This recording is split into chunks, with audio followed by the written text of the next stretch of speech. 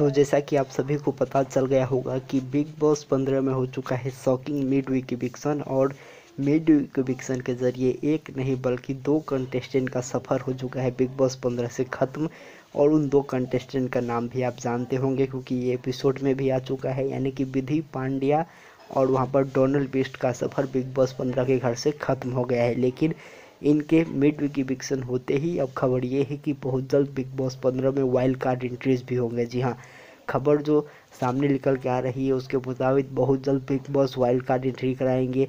क्यों कराएँगे ये आप लोगों को में बताऊँगा, लेकिन उससे पहले बता दूँ कि आखिरकार डोनर और विधि का इविक्शन क्यों हुआ? तो आप सभी को बता दूँ कि बिग बॉस का ये मानना रहा है कि इन दोनों का जो है बिग बॉस के प्रति कोई योगदान नहीं है और ये लोग जो है कंटेंट नहीं दे रहे थे बिग बॉस को, जिसके कारण से बिग बॉस को ये कदम उठाना पड़ा और बाकायदा बिग बॉस ने इसके लिए प्लानिंग भी की थी। आप लोगों को पता होगा कि जब फराह खान आई थी लास्ट वीकेंड का वार में तो उन्होंने सभी घर वालों को रैंकिंग दी थी। और अगर आप लोगों ने ध्यान से देखा होगा तो जो चौदह और पंद्रहवा नंबर था, वो इन्हीं दोनों को मिला था। यानी कि सबसे लास्ट का जो दो पोजीशन था, वो डोनर और विधि को ही मिला था। और कहीं ना कहीं घर वालों के दिमाग में भी ये बातें चल रही थी।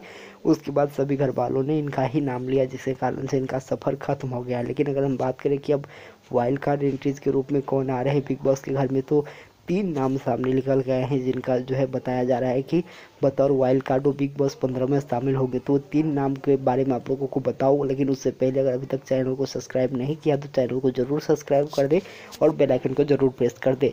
तो जो सबसे पहला नाम है, वो है राकेश बापट। जी हाँ राकेश बापट के बारे में खबर ये थी कि वो बिग बॉस पंद्रह के शुरुआत से ही बिग बॉस पंद्रह का हिस्सा होगा, लेकिन वो नहीं हुए हिस्सा। और कहीं ना कहीं अब खबर आ रही है कि वो बतौर wild card entry Bigg Boss पंद्रह में शामिल होंगे।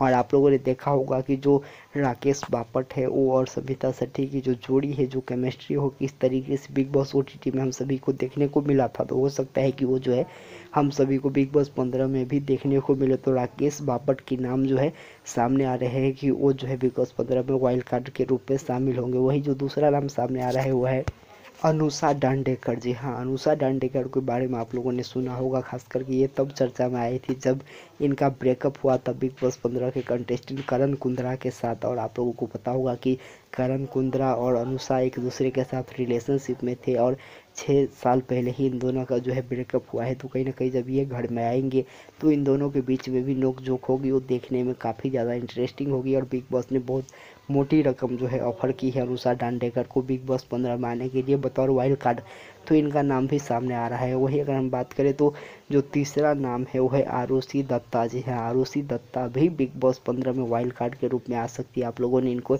और भी रियलिटी शोज़ में देखे होंगे, जैसे कि स्पिट्स भिल्ला और ख़ास करके इनका बोल्डनेस का जो तरीका है, उसके कारण से जो यूथ है, उनमें इनकी बहुत ज़्यादा फ़ैन फॉलोइंग है।